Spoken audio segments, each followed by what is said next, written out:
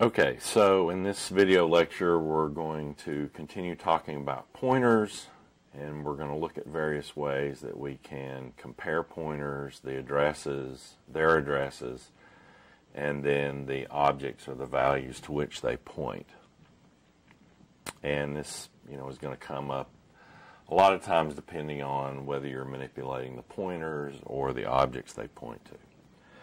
So let's start off with some initial assignments and I'd encourage you to you know type this in and get it working and change some of the values and play around. So I'm creating a pointer called IP0 and I'm going to assign it to point to null. And in terms of our diagram, diagrammatic representation of what's happening in memory, that's what that looks like. Then I can define another IP1 and I'm going to make that point to an integer 5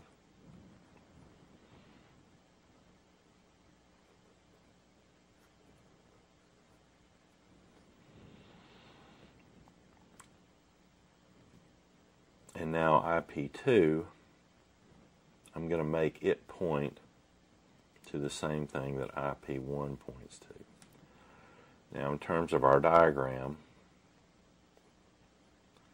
I have something that looks like this. So I have two pointers. They're storing the same address, which means that they're pointing to the same object. Uh, there's only one copy of 5 even though I have two pointers pointing to it.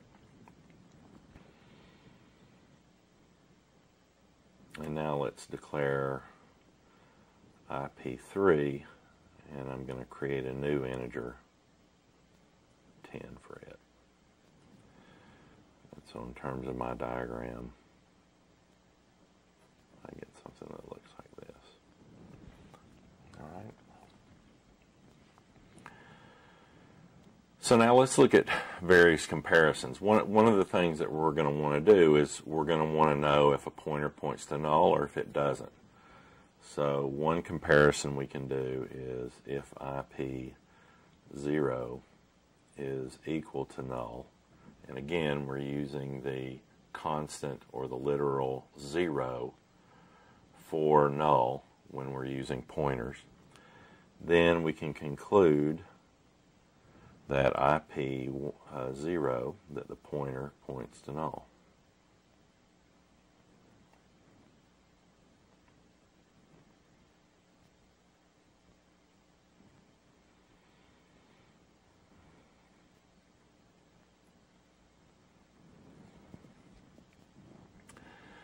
We also want to check if it doesn't point to null. So if I have a comparison, if IP1 is not equal to null, then that means that IP1 points to something.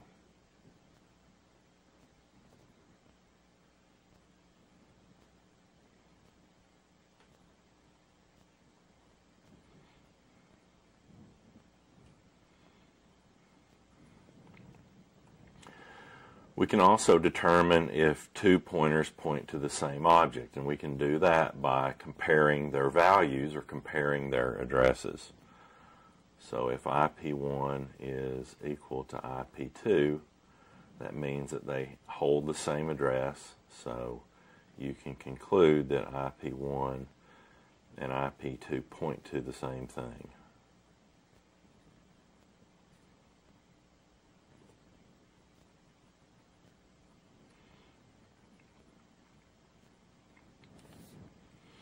And we can also use the inequality operator to determine that IP1 and IP3 point to different objects. So these two addresses will be different.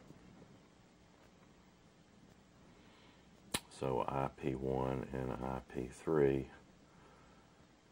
point to different objects.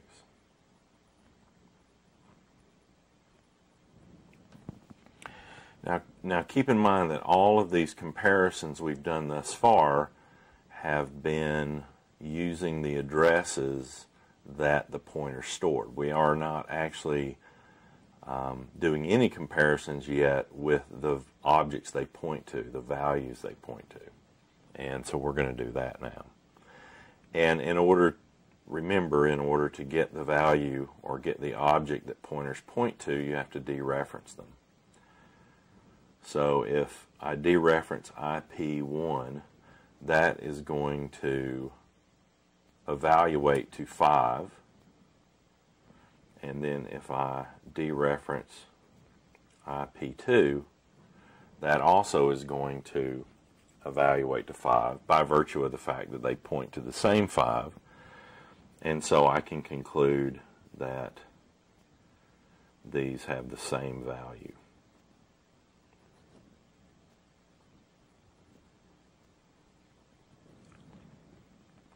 And then, of course, I can use inequality and I can say IP1 is not equal to dereferenced IP3.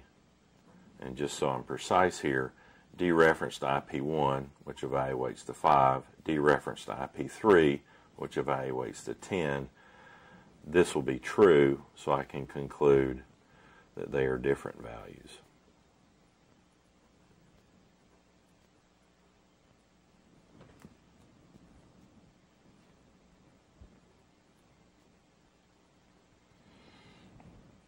And one final demonstration. What if I change this value 10 to 5? I can do that by dereferencing IP3. That gives me this integer, and then I can make an assignment as if it were a, a statically allocated variable. So now in doing that, 10 is now changed to 5 in that memory location. So these are two different fives, right? They're two physically different fives. They're stored in two different memory locations. And so I can write an if statement that tells me that, first of all, these are different addresses, which means that they're different objects, but they have the same value.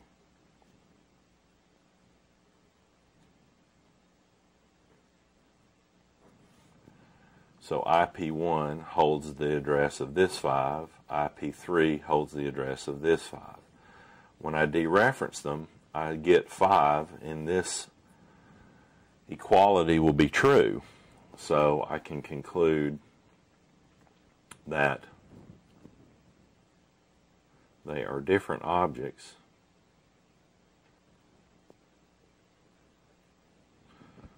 but they're the same values.